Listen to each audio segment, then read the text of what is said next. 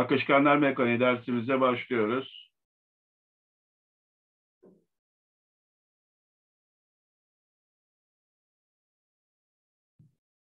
Evet, bugünkü konumuz basınç ve akışkan statik e, altında hidrostatik kavramı. E, hidrostatik kavramı bizim için önemli. E, basınçlar hakkında kısa bilgi vermiştik geçen ders. Bu sefer hidrostatik kavramını ayrıntılı olarak ele alalım.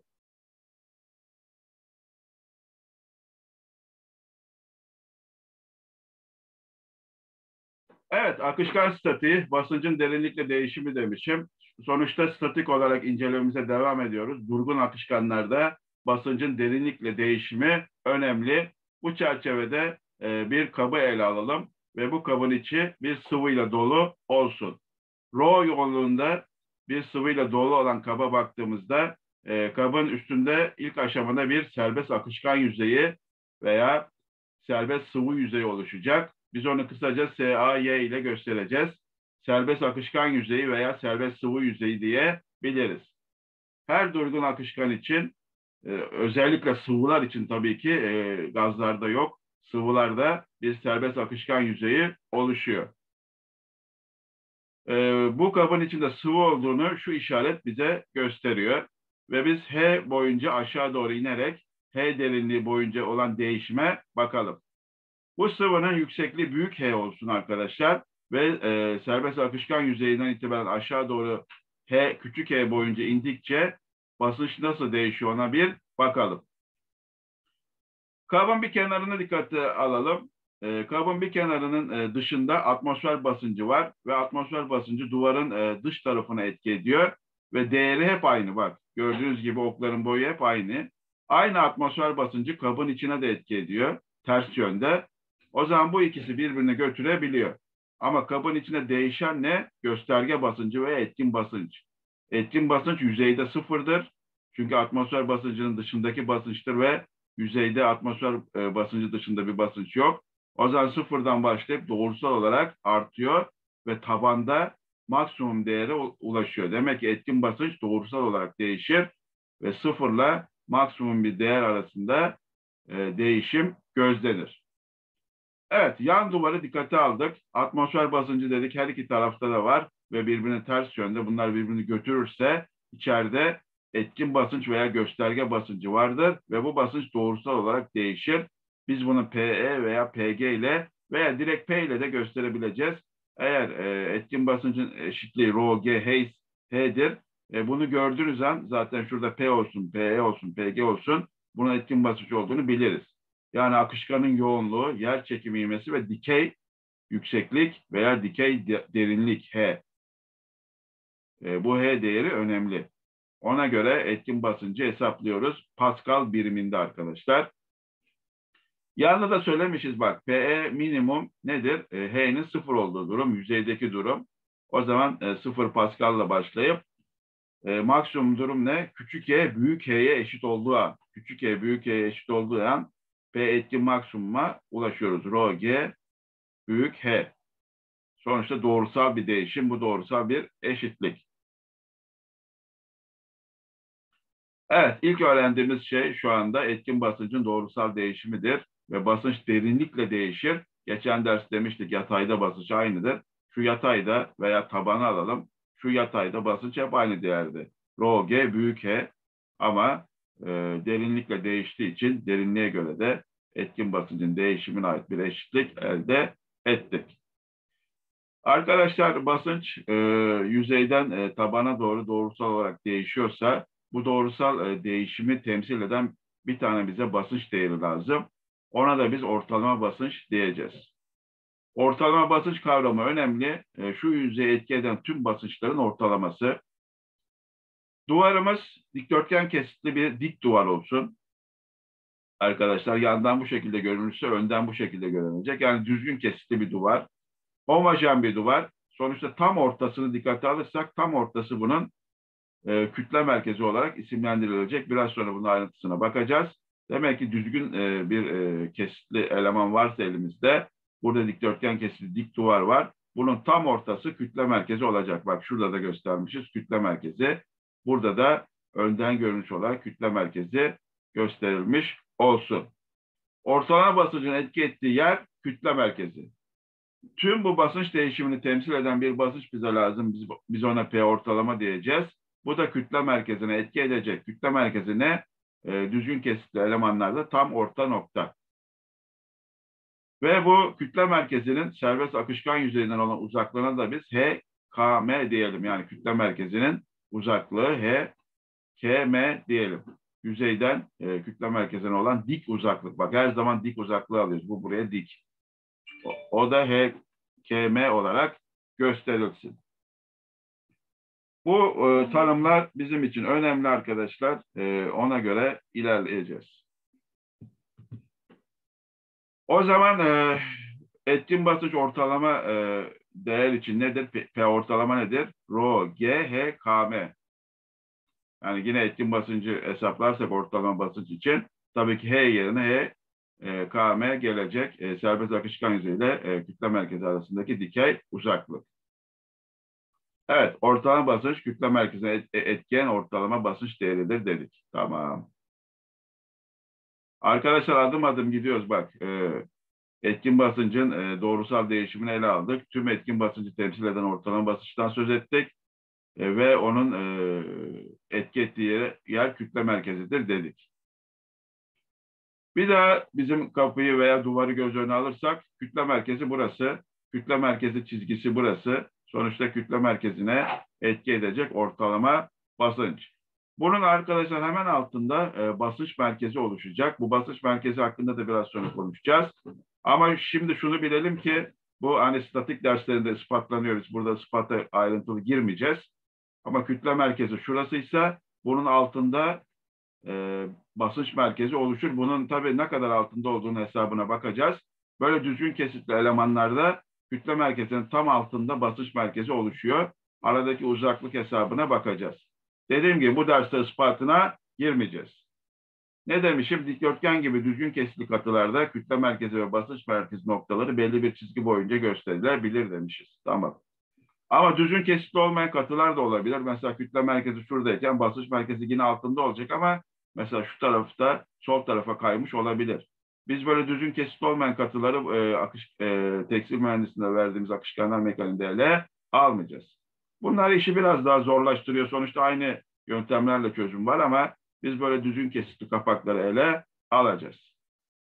Ama ayrıntısı tabii ki akışkanlar mekaniği kitaplarında var. İllene e, tam altında olacak değil. Basınç merkezi sağa sola kayabilir. Bunun ayrıntılı hesabı dediğim gibi statik derslerinde de e, ispatlanıyor. Basınç merkezi e, arkadaşlar önemli dedik. Niçin bunu ele aldık? Şöyle özetleyelim önce. Kütle merkezine ortalama basınç etki eder dedik. Tamam bu basınç Pascal biriminde e, bütün etkin basıncı temsil eden basınç bu. Ama biz bu yüzeye etki eden kuvveti hesaplamak istiyorsak basınçtan kuvvete geçebiliriz. Kuvvet nedir? Basınç çarpı alan. Alan ne? Bu e, akışkanı etki bütün yüzey alanı şurası. O zaman basınç çarpı alan kuvvetse tüm bu e, yüzeye etki eden e, kuvvetleri temsil eden bir kuvvet lazım bize yine. Nasıl tüm yüzeye etki eden basınçları ortalama basınç e, temsil ediyorsa tüm yüzeye etki eden kuvveti de bileşke kuvvet temsil edecek. Ona da FR diyeceğiz. O zaman bileşik kuvvetin etki ettiği nokta basınç merkezidir işte. Her zaman da kütle merkezinin altındadır basınç merkezi. Kütle merkezi ile basınç merkezi arasındaki dikey uzaklığa küçük b dersek, e, bu b'yi arkadaşlar çıkartılışını vermeyeceğiz. Ama sonucunu vereceğiz. Yani şu iki, aradaki uzaklık b nasıl bir eşitliğe sahip onun hakkında bilgi vereceğiz. Ama şu an öğrendiğimiz ne? Serbest akışkan yüzeyimiz var serbest akışkan yüzeyine olan dikey uzaklıklar var. Bir tanesi HKM, bir tanesi HBM diyelim. Sonuçta bunlar e, ortalama basınçlar bileşik kuvvette olan dikey uzaklıklar ve kütle merkeziyle basınç merkezine bu ikisi etkiyor. Bu bilgiler çok önemli. Biz e, kuvvet hesabı yaptığımızda basınç merkezine göre yapacağız ve basınç merkezine göre moment alıp bazı hesaplar yapacağız. Adım adım gidiyoruz dedik. Kuvveti biraz önce konuştuk. Kuvvet basınç çarpı alana eşittir. Arkadaşlar bu alan da çok önemli bak. Şuraya yazmışım. Sıvının etki ettiği ıslak yüzey alanı. Sonuçta bu kabın şu duvarının hepsini akışkan ıslatıyor mu? Islatıyor. O zaman burası ıslak yüzey alanı olarak alacağız. Yani Biraz sonra örnekte de bakacağız. Kabın e, yarısında su doluysa örneğin, kabın yarısını ıslatıyorsa akışkan, o A'yı alacağız. Yani biraz sonra örnekte ayrıntılı bakacağız. Basınç, e, sıvının uyguladığı basınç sonuç olarak e, kuvvette F olarak gösterilirse P çarpı A ile kuvveti biz alıyoruz. Bu genel gösterim. Tabii bu problemde e, bileşik kuvveti biz e, P ortalama çarpı A ıslak yüzey alanı alacağız. Tabii ayrıntıya şimdi bakalım. FR bileşik kuvveti nedir? Arkadaşlar çıkartılışı akışkanlar mekaniği kitaplarında biz sonuca bakıyoruz. E, FR bileşik kuvveti ortalama basınç çarpı ıslak yüzey alanına eşit. Newton biriminde.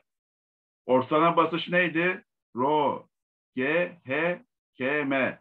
Bu üçünün çarpımı ortalama basınçtı. Yanına A geldi. O zaman bileşik kuvvet ne? Rho çarpı G'ye kısaca gamma dersek, özgür ağırlık dersek, gamma çarpı H, K, M çarpı A. Bakın arkadaşlar ileride bu çok e, karıştırılıyor. Kesinlikle karıştırmayacağız. Onun için şöyle bir daha söyleyeyim. Bileşik kuvvet ortalama basınç çarpı A'ya eşit. Ortalama basınç içinde de H, K, M var. O zaman biz e, bileşik kuvveti gamma HKM çarpı A cinsinden yazarız. Buraya dikkat demişiz. İleride buraya arkadaşlar B, M yazıp hesabı öyle yapıyorlar. Burası basınç merkezi değil. Her zaman kütle merkezi yer alıyor. E, bileşik kuvveti hesaplarken bak burası dikkat. Şuraya bir bilgi yazmışız. Ha, HBM eksi HKM eşittir küçük b diye şekilde de zaten göstermiştik. Tamam. Bileşik kuvvet eşitliğinde HKM yer alır, HBM değil. İleride hata yapmayalım. Adım adım gidiyoruz ve bileşik kuvveti de bu şekilde halletmiş olduk. Yine bir kap ele alalım arkadaşlar. Bu kabın e, şu yüzeyi L gibi olsun bakın. Serbest akışkan yüzeyi burada. Şu işareti gördüğün an burası serbest akışkan yüzeyi veya serbest sıvı yüzeyde desek olur. Sonuçta sıvılar için geçerli bir e, yüzey. Şurası mafsal noktası olsun. Yani şu L e, kapısı bu mafsal noktasında oy, e, oynayabiliyor, hareket edebiliyor, sağa sola hareket edebiliyor. Bir kapı bu sonuçta. E, bu şekilde e, dursun şu anda denge halinde e, kapı açılmıyor. Bu şekilde dur, e, durduğunu kabul edelim. Bu kapıyı L biçimde olduğu için ikiye ayıracağız problemlerde.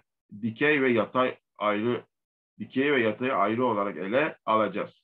Önce dik kapıya bakalım. Dik kapının yanında bir akışkan var ve akışkan dik kapıyı şu e, şekilde ıslatıyor bak. Tamam. O zaman bu ıslak yüzeyin tam ortası kütle merkezi. Buraya HKM 1 demişim. Sonuçta e, dik kapıyı 1 ile temsil edelim. Bunun biraz altında basınç merkezi var ve onun da e, yüzeyden uzaklığı buraya yazmamışız. Sonuçta HBM 1 olarak gösterebiliriz.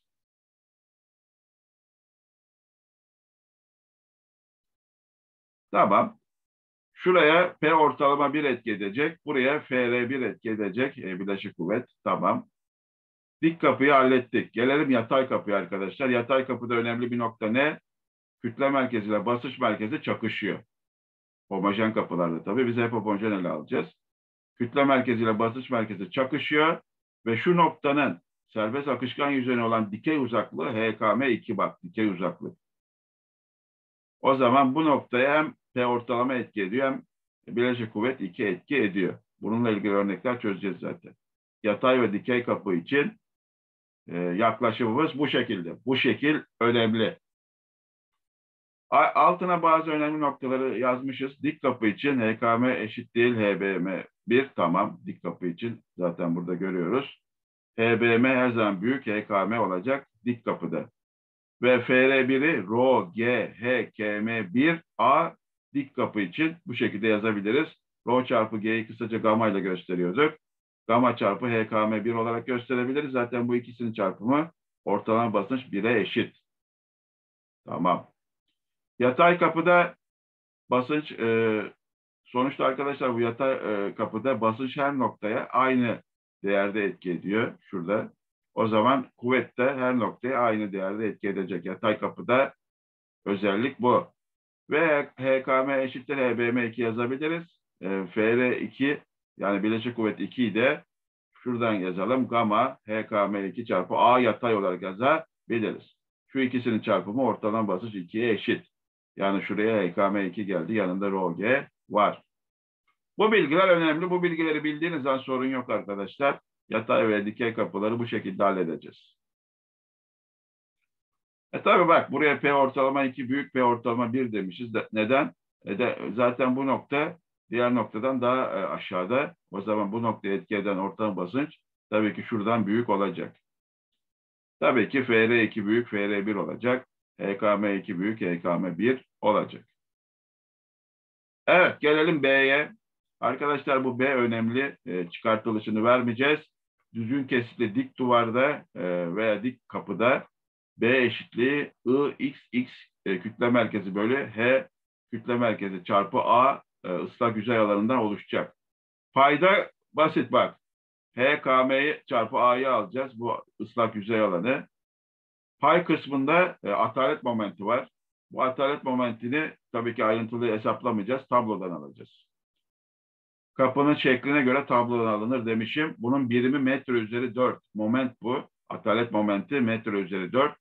Aşağısı e, metre küp. Sonuçta B metre çıkacak. Yine bu A'ya dikkat. ıslak yüzey alanı metrekare demişim. Arkadaşlar hani kapı eğimli olursa e, bir e, şu bilgi de elinizde bulunsun. Böyle soru sormam ama bilgi olarak yani bu biraz da ileriki aşama. Eğimli bir kapı varsa aşağı YKM geliyor yani HKM yerine. YKM de HKM böyle sinüs teta eşit oluyor. Yani eğimli bir kapı problemiyle karşılaşırsan e, sinüs teta gelecek. O kapının yatayla yaptığı açı çerçevesinde şurası değerlendirilecek. Ben size e, e, dik kapılar hakkında sorular soracağım. Ama eğimli kapının bilgisi ders notlarınızda yer alsın.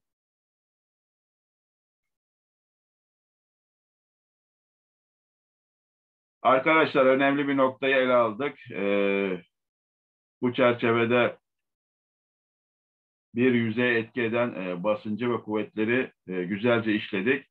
Şimdi benim tarafımdan hazırlanmış e, soru bir var. E, bu sorunun içinde her türlü bilgi var.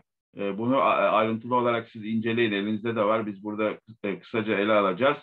Bunu ben hazırladım. Hiçbir kitapta bulamazsınız. Burada bütün ayrıntılı bilgiler var. Böylece e, önemli e, konuyu soru bir altında tekrar ele alıyoruz. Burada anlatılanları bildiğiniz zaman hiçbir sorun yaşamazsınız. Ne demişiz? Şekil 1, 2 ve 3 ile verilen ve içinde aynı özellikle herhangi bir sıvı bulunan deponun yan duvarına ve tabanına etki eden basınç ve bileşik kuvvet için neler söylenebilir? Maddeler halinde yazınız. Bakın aynı kap bir kere e, yatay olarak bakarsak tabana bak basınç tabanda değişmez, yatayda değişmez dedik. Aynı şekilde etki ediyor. Bunları temsil eden e, ortalama basınç aynı noktaya etki ediyor. E, bileşik kuvvet de aynı noktaya etki ediyor. Burada P'yi sıfır, burada P'yi sıfır yazmış. Yani etkin basınçla çalışacağımız için hani şuradaki dışarıdaki basınçları sıfır alabilirsin demiş. Bu, bu çok önemli değil. Biz içeride etkin basınçla çalışıyoruz. Bakın e, e, serbest akışkan yüzeyden tabanı olan yüksekliği burada küçük ele almış. Tamam. Bu çerçevede bu sabit bir değer. Ama yüzeyden e, tabana doğru etkin basıncın değiştiğini biliyoruz. Yatay için bu. Dikey için biraz önce yine konuştuk. Serbest akışkan yüzeyinden aşağı doğru doğrusal bir değişim var. Her türlü duvar için yani bu yan duvar, diğer yan duvar için değişim aynı. Ve tabanda e, gamma e, özgür ağırlık çarpı H kadar e, bir basınç oluşuyor tabanda. Yani rho çarpı G çarpı H kadar. Ona biz kısaca gamma diyoruz rho çarpı G'ye. Sonuçta buradaki maksimum basınç da buna eşit. H derinliğinde ise bu sıvı. Tabii yan duvarlara baktığımızda arkadaşlar bir kütle merkezi, bir basınç merkezi oluşuyor. Kütle merkezine P ortalama, basınç merkezine de FR yan duvar demişim. Sonuçta bu bileşik kuvvet oluşuyor. Serbest akışkan yüzeyden olan uzaklıklarda, dik uzaklıklarda bu şekilde. Evet maddelere kısaca bakalım. Atmosfer basıncı deponun her tarafına eşit şekilde etkilediği için değeri sıfır olarak alınabilir. Tamam. Hem buraya dışarıdan etki hem içeriden etki ediyor. Birbirini götürüyor anlamında düşünebiliriz. Basınç ve bileşik kuvvet hesapları serbest sıvı yüzeyi veya serbest akışkan yüzeyi dikkate alınarak yapılır. Şekil 1'e bakınız demiş. Elinizde bu şekil var arkadaşlar. Şu şekil 1. Yatay düzlemde basınç değişmeyeceği için deponun tabanına etki eden basınç değerleri değişmez ve gösterge basıncı olarak P eşittir P taban gösterge gamma çarpı H veya e, rho çarpı G çarpı H olarak yazılabilir. bilir. Arkadaşlar hepsini okumayacağım. Sonuç olarak şöyle önemlilerine bakalım. Bu elinizde var siz e, çalışın. Beşe bakalım. Bir cismin her noktasına etki eden aynı değerdeki yer çekimi kuvvetin, kuvvetinin bileşkesinin uygulama noktasına kütle merkezi. Bak tanımını burada vermişim. Yani kütle merkezi di diyoruz ama tanımın ne? Bir cismin her noktasına etki eden aynı değerdeki yer çekimi kuvvetinin bileşkesinin uygulama noktası. Kütle merkezi arkadaşlar bazı kitaplarda buna ağırlık merkezi de denir. Ama kütle merkezi, ağırlık merkezi böyle e, boyutları fazla büyük olmayan e, cisimlerde çakışır. Ayrıntıya girmeyeceğim. Biz kütle merkezi diyelim. Bu bazı kitaplarda C ile e, biz Türkçe olarak e, KB ile göstereceğiz kütle merkezini. Ama C ile de gösterdiğim durumlar olabilir. İkisi de kütle merkezini bize gösterecek. Altıncı madde de önemli. Bir cisme uygulanan ancak moment oluşturmayan tüm kuvvetlerin bileşkesinin geçtiği noktaya basınç merkezi diyoruz. Basınç merkezinin tanımı da bu. Bir cisme uygulanan ancak moment oluşturmayan tüm kuvvetlerin bileşkesinin geçtiği nokta. Hani öyle bir nokta ki o e, yukarıda ve aşağısında kalan momentler onu dengeliyor ve o kapıyı yerinden oynatmıyor. Buna biz e, basınç merkezi diyoruz. Arkadaşlar onu CP İngilizceden ve Türkçesiyle BM ile göstereceğiz. Ben bazı çözümlerde C ile e, ve CP ile göstermiş olabilirim. Ama Türkçe'de de KM ve BM olacak. Diğerlerini buradan okuyun arkadaşlar. Şöyle önemli noktalara bakıyoruz. Sonuçta biraz önce anlattığım her şeyi burada sözler olarak yazmışım. Elinizde bulunsun diye. Bakın e, B'yi de buraya yazmışız. 15. maddeyi okuyalım. Kütle merkezi ile basınç merkezi arasındaki dikey uzaklık B, I, X, X, C ıslak yüzey alanının kütle merkezinden geçen X eksenine göre alan ikinci momenti.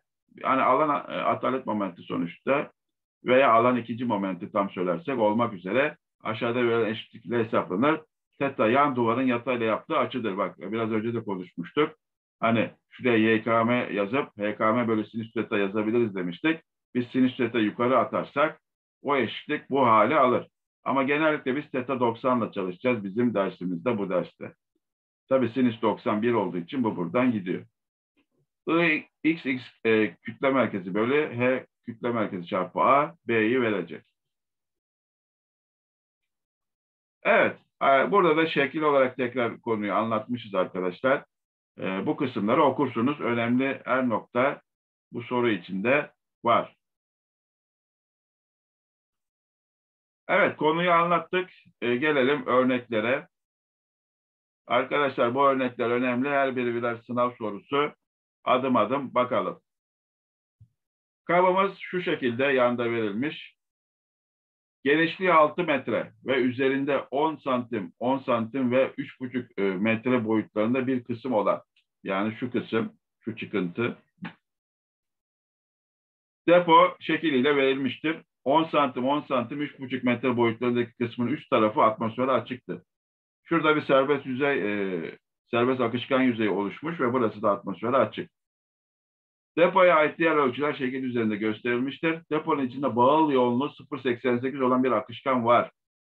Deponun AB bölümüne akışkan uyguladığı ortalama basıncı bulacağız. AB bölümü şu, şu, şu kısmı. Bileşe kuvveti bulacağız. Bileşe kuvvetin etkili basınç merkezinin serbest akışkan yüzeyinden olan dikey uzaklığını bulacağız. Deponun BD tabanına akışkan uyguladığı bileşik kuvvetin değerini bulacağız. Birimleri de yazmış. Bu birimlere göre bulacağız tabii ki. Burası meganewton, burası kilopascal, burası kilonewton. Tamam. Adım adım bakalım arkadaşlar. Yine elinizde var bu şekil. Oradan bakarsınız. Bağlı yoğunluk 0.88 ise e, bize akışkanın yoğunluğu lazım. O geçmişte çalıştık. Bağlı yoğunluk çarpı 1000 yani 0.88 çarpı 1000 880 kilogram bölü metreküp akışkanın yoğunluğu. Tamam. Gelelim arkadaşlar. E, bu sorulan her problem için biz bir e, şekil çizeceğiz, çizeceğiz ve bu şekil üzerinde her şeyi göstereceğiz.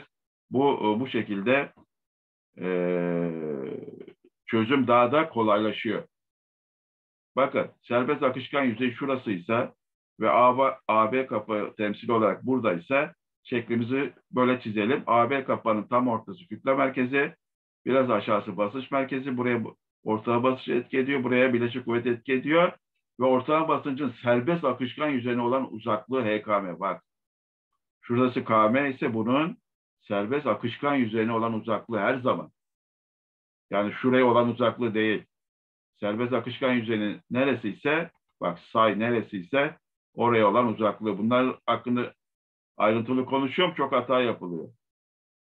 O zaman HKM'yi bulursak 3,5 metre 2,5 bölü 2 demişim. Bak 2,5 burası tam ortası 2,5 bölü 2. Bir de yukarıda 3,5 metre var. Bu soruyu güzelce inceleyin sonra. Bu soruları güzelce incelerseniz hata yapmazsınız. 4.75 metre HKM'yi bulmuş olduk. Bu burada dursun kullanacağız. Ortalama basınç P ortalama AB için e, Rho G H KM 880 981 475 yerleştir. Sonuçta P ortalama bakayım 41.005.8 Pascal kilopascal olarak yazarsak tabii ki 41 kilopascal olarak yazabiliriz. Ortalama basınç 41 kilo Pascal. Biz mühendislere e, kuvvet değeri lazım. O zaman bileşik kuvvet nedir? Ortalama basınç çarpı A. Ortalama basıncı yukarıda hesapladığımız için 41 kilo Pascal. Bakın A ıslak yüzey alanı. AB ne? 2,5 metre. Genişlik ne? 6 metre. Bize doğru olan e, genişlik 6 metre. 6 çarpı 2,5. O zaman e, çarparsak bak burası kilo Pascal. Sonuç 615 kilo Newton. Bakın suyun esasında uyguladığı kuvvet yüksek değerde yani 615 kilonewton. Suyun karşısında hiçbir şey duramaz. Taşan nehirlerin karşısında e, e, televizyonlarda da izliyoruz hiçbir şey duramıyor. E, yüksek bir kuvvetle etki ediyor yüzeylere. Basınç merkezinin serbest akışkan yüzeyine olan uzaklığı. Bak bu da çok önemli. AB için basınç merkezi yani HKM artı B kadar olacak. Bak buraya da yazmışım zaten. Basınç merkezi HKM artı B kadar. B de bu. Arkadaşlar şuraya 4.75 metre bulduk. Şimdi bak bu kapak veya bu du duvar dikdörtgen kesitli. Arkadaşlar elinizde tablosu var. Bu IXXC tablosu var. Dikdörtgen kapaklar için 1 bölü 12 e, B çarpı A küp diye yazar o tabloda. B dediği genişlik, A dediği yükseklik. Bakın Tabloyu inceleyin. Elinizdeki e, ders notunda var veya akışkanlar mekanik kitaplarında var.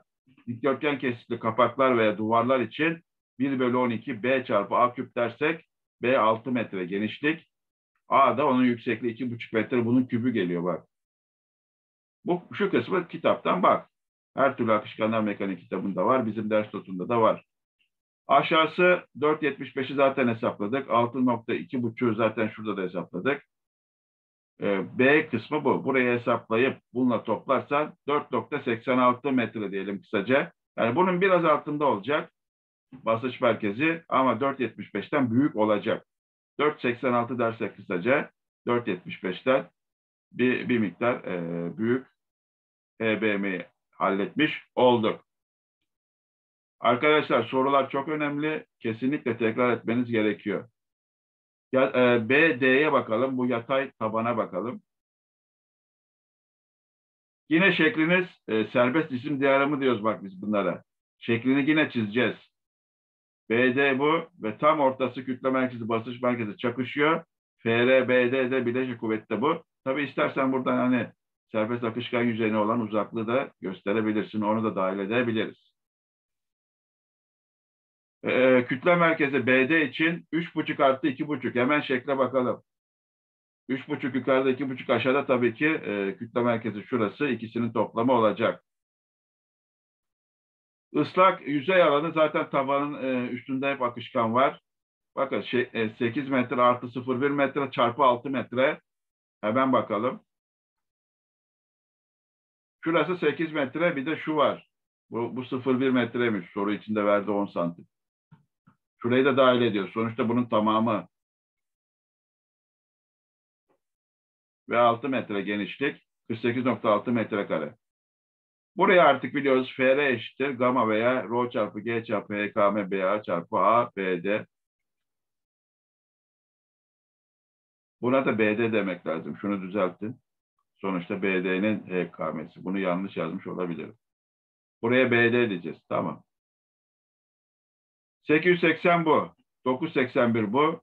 HKM B'de bak yukarıda doğru yazmışım. 6 metre tamam. Şuraya yanlış yazmışım. 6 metre. Alanda 48.6 metrekare. Çarparsam büyük bir sayı çıkıyor. Tabii e, mega 10 üzeri 6 demek. Bunu e, ona göre düzenlersek 2,5 mega Newton değerinde bak tabana etki eden basınç. Bu soruyu bu şekilde halletmiş olalım. Ayrıntılı bilgileri verdik. Arkadaşlar şimdi iki soru daha var. Onları da bakalım hemen. E, iki tane daha soru çözeceğim ve dersi bitireceğim. Bakın bu sorular önemli. Bunlar hep sınav soruları. Bunu hızlıca bir bakalım. Şekilde verildiği gibi 3 metre yüksekliğinde ve 6 metre genişliğinde dikdörtgen kesitli kapak üst kenarında A noktasından mafsallanmış olup B noktasındaki sabit bir durdurucuyla açılması da engellenmiş. A noktasında sağa sola dönebiliyor kapak ama şurada bir dış durdurucu var. Sonuçta akışkan e, bunu iktirmeye çalıştığında dışarı doğru kapak açılmayacak. Suyun sıcaklığını vermiş 25 derece santigrat. Kapağın üst noktası ile alt noktasına suyun uyguladığı basınçları. Kapağın üst noktası A bak kapak bu. A'ya ve B'ye alt noktası da B uyguladığı e, basınçları bulacağız. E, kapağa uyguladığı bileşik kuvveti bulacağız. Serbest akışkan yüzeyle kütle merkezi arasındaki dikey uzaklığı bulacağız. E, basınç merkezinin uzaklığını bulacağız. Yani her türlü bilgi istemiş ama kapağımız bu bak. Suyun içinde kalan bu. Bütün kapak ıslanıyor. Ayrıntılara şimdi bakacağız. Şekle güzelce bakın arkadaşlar. Elinizde de var. Adım adım gidelim. 25 derece sıcaklıkta suyun yoğunluğunu tablodan 997 kilogram metreküp olarak alacaksınız. Serbest isim diyagramını çizeceksiniz. AB kapağı bak bu temsili olarak. Kütle merkezi basınç merkezi bu. Ortam basınç bu. FL bu. B bu. HKM bu. Hepsini gösterdik. Yanına da güzelce her şeyi yazmışım.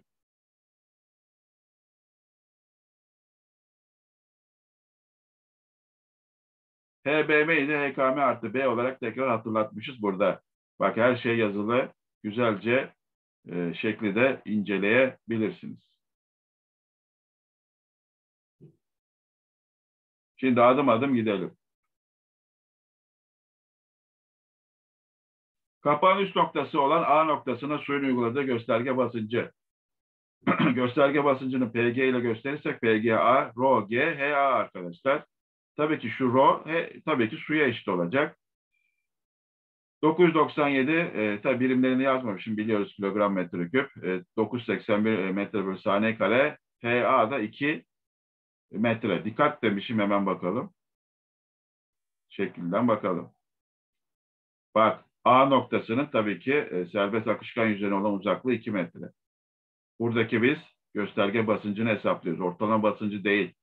Gösterge basıncını hesaplıyoruz. 2 metre alacağız. Bu soru çok önemli. Anlattığımız her şeyi yine burada sayısal tekrar etmek istedim. Sonuç 19.56 kilopascal. Tamam. B noktası tabanda. O zaman şuraya 5 geliyor. Yani tam 5 olacak. 5 metre. Bakayım. 3 artı 2 5 tamam. Gerisi aynı arkadaşlar. Ee, 997 981. Burada bine bölmüşüm sonuç kilopascal çıksın diye yani. Sonuç olarak bine böldüğünde 48.90 kilopascal. Ama burada dikkat edeceğiniz nokta ne? A ile B'yi karşılaştırırsam B her zaman A'dan büyük olacak. Daha aşağıda. 19'a 48 daha büyük. Tamam. Serbest akışkan yüzeyiyle kütle merkezi arasındaki dikey uzaklık HKM. Bak HKM'ye geldiğimiz an e, 2 artı 3 bölü 2 bak. 2 artı 3 bölü 2 hemen bakalım. Bunlar çok önemli. 3 burası. Bunun tam ortası tamam 3 bölü 2. Bir de yukarıda 2 var. 2 artı 3 bölü 2 tamam. Arkadaşlar bu adım adım çözümleri kesinlikle çalışın. Bunları anlayan hiçbir sorun yaşamaz. Dikkat dediğim yerler önemli. Neden bunlara hep dikkat dedim? İlerideki e, sınavlarda hep hata yapılıyor. Burası üç buçuk metre. Bunlar kolay gel gelse de ileride hep hata yapılıyor. Bu dikkatleri göz önüne alıp ona göre çalışın.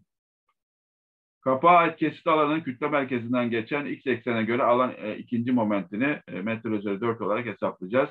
I, x, x, c. Dikey bir kapak. Bak buraya B A küp olarak yazmışım bak 1 bölü 12. Dikdörtgenle çalışıyorsak bu. Üçgen kapak olursa farklı yani. Ona göre bakacaksınız akışkanlar mekanik kitaplarına Dikdörtgenlerde hep 1 bölü 12 BA küp. Bak 1 bölü 12 bu B genişlik 6 metre genişlik verilmiş. A 3 metre ee, A değeri hemen 3 metreye bakalım ki hata yapmayalım. Şekilden anlatırsam daha iyi. Bak 3 metre bak ıslak yüzey alanı kapak için ama kapak için. Çok önemli. Bütün kapağı akışkan ıslatıyor ve 3 metre. Hani şekil üzerinde anlatmak daha kolay oldu. O 3 nereden geliyor? Şekil üzerinde var. Dikkatle yazdığım yerler hep önemli. Sonuçta 13.5 metre üzeri 4 çıkıyor. Tamam. Kütle merkezi ile basınç merkezi arasındaki uzaklık e, tabii ki IXC, IXXC'yi yukarıda hesapladıysak bunun HKM çarpı A'ya oranı. Burası 3,5 bak burası 3 çarpı 6. Bunlar çok önemli bak 3 çarpı 6. O kapağın yüzey alanı. Bunlar hep dikkat. Eşittir 0.2143 metre. Bu küçük bir değerde çıkar ama e, mutlaka e, kütle merkezinin altında çıkar. O zaman HBM 3,5 artı 2 nokta 3,5 artı 0.2143 0.2143 şurada 3.71 metre diyelim. Yani 3.5'un altında. 3.71 metre. Tamam. Kapağı suyun yolladı. Ortalama basınca geçersek arkadaşlar. Ortalama basınç ne? Rho, G, H, K, M. Dikkat. Bu sefer H, K, M geldi buraya. Onu yukarıda hesapladık. 3.5 metre. Yani 3.7 değil. 997, 981, 3.5 bölü 1000. Sonuç 34.23 kilopascal. Arkadaşlar bakın 34.23 e, kilopascal ortalama basınç.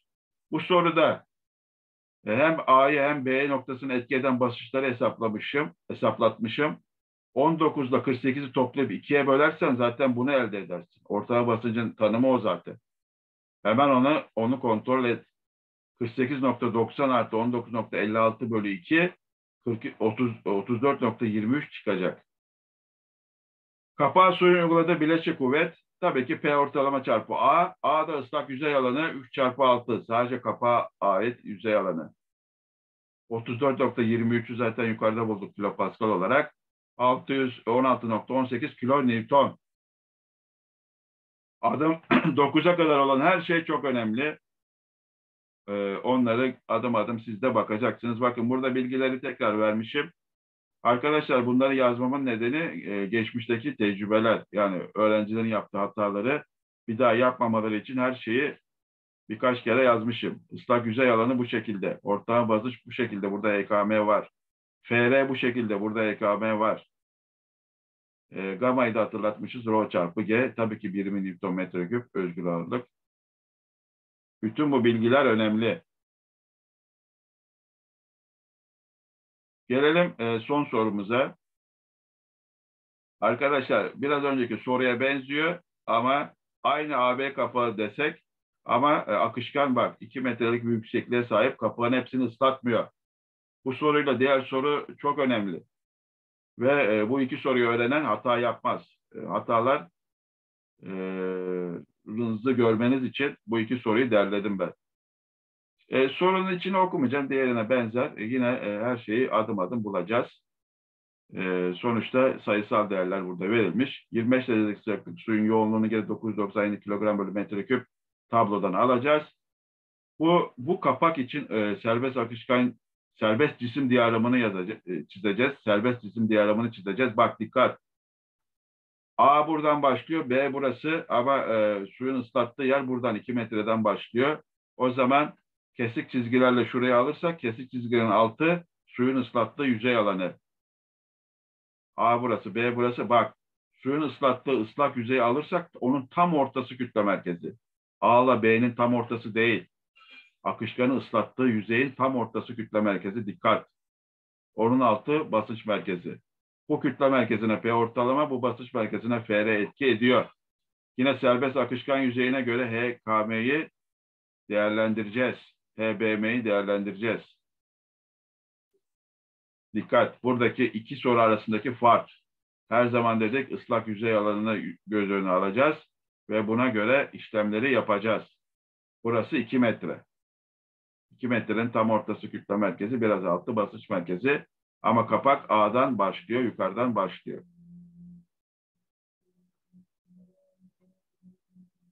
Serbest akışkan yüzey ile kütle merkezi arasındaki dikey uzaklığı metre olarak. Bu işte 2 metrenin 2'ye oranı 1 metre. Tam ortası.